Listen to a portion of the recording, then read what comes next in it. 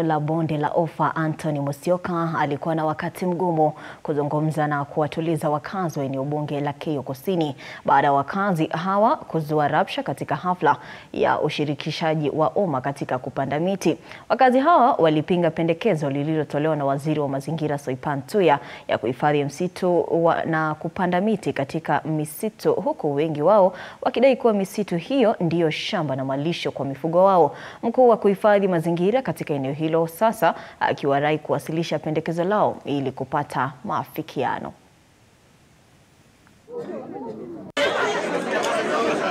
Shamba yangu na forest ni about 100 meters.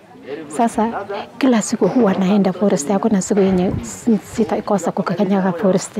Hasa nikiambiwa ati unafunga na waya, naona kama ni ngumu kwetu kama wakaaji wa Kiambaa, kwa sababu tunapeleka ng'ombe maji, tunaenda kuni, hata chakula tunaenda huko. Si kama wenyeji wa wenye tumekuwa tukichunga misitu Kaptagat Forest tumesema ya kwamba kuletwa kuletwa hiyo waya tumekataa kukataa kabisa. Kwa sababu gani? Hatujeshuhudia uh, conflict between rangers na wananchi tangu since mimi nisaliwe, tumekuwa tukiishi vizuri. Tumeamua kwamba tutaandika petition ili tuweze kupeana kwa different uh, uh, institutions kama parliament na hata kwa wizara wenyewe. Tunao vichuku wetu lazima tutetee, kwa sababu wataenda wapi? Sisi tumekataa kukataa, hakuna mambo ya kuhusu.